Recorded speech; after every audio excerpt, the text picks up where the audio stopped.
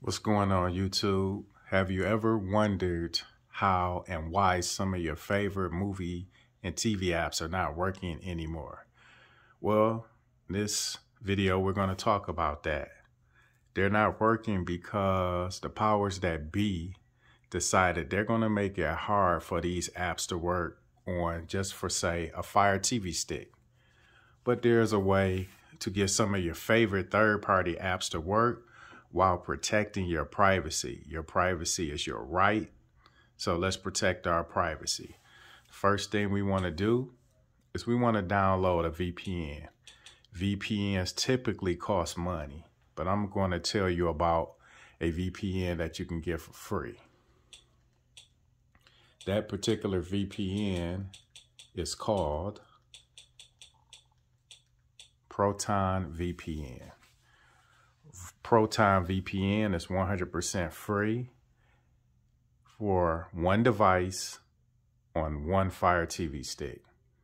So if you have multiple Fire TV sticks, you may want to upgrade and get a paid subscription of this, but it's 100% free. I use it myself. It's a pretty good VPN and you can't beat free.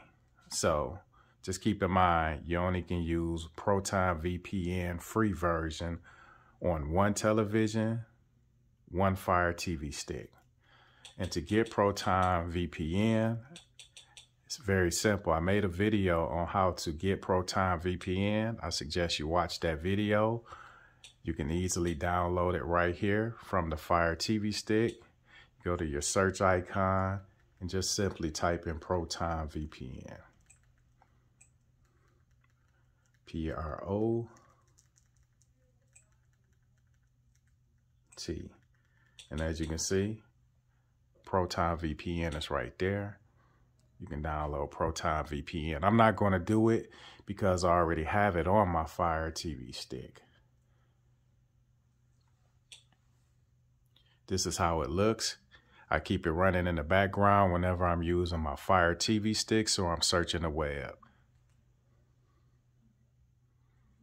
You can disconnect at any time. There is a servers list and the servers list will give you the option on which server that you want to use.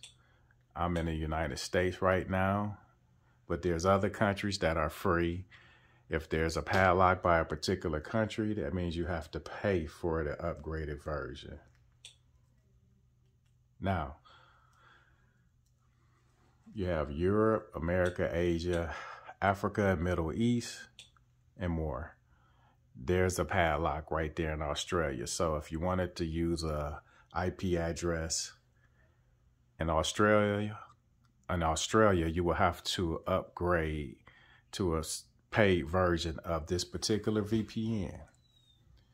So right now I'm going to go back to my main screen on my Fire TV stick and just say I wanted to click on this app.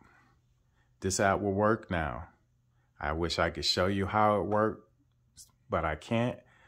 But just trust me, this app will work now if you have a VPN playing in the background. I hope this video was helpful. Please like, subscribe, and share. Stay tuned for the next video.